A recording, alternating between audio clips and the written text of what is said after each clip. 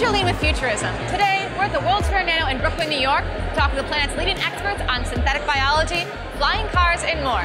You won't want to miss it. To begin with, what's wrong with our current transportation industry? One of the issues that we're seeing is the commuter from outside of the urban area getting into the urban area is finding it challenging. If I can reduce that time and be a little bit more productive, that makes sense to me in my life at least.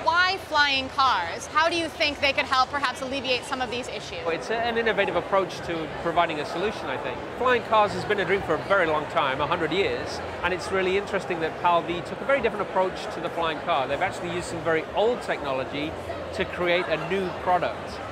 Uh, can you speak a bit about the types of technologies that you currently have at PAL-V? So we use a gyroplane format for flying, and that was invented early in the 1930s by a Spanish guy called Juan de la Cierva. So we used another relatively old technology from a Dutch company called Carver, which gives us a tilting cab on the vehicle, and that allows us to lower the center of gravity of the vehicle and we can drive on the road in a very performant manner. We've got a very uh, interesting setup. We have a twin engine aircraft and a single engine car, and that allows us to drive about 850 miles on a tank of gas. Oh, wow. So it's actually a pretty well performing car as well. Looking at the future of transportation, what developments do you see taking place either with our infrastructure or specifically in relation to like flying cars? The government in Holland have actually been looking at putting short runways on the side of their highways.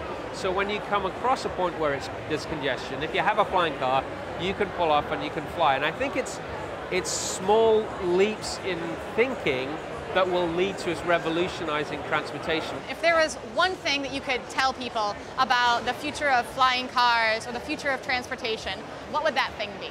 Oh, to me, the freedom of three-dimensional flight, if you have not experienced it, is unbelievable. But really and truly, when you get up in an aircraft and you can go almost wherever you want to within the regulations, that's just a very, very cool feeling.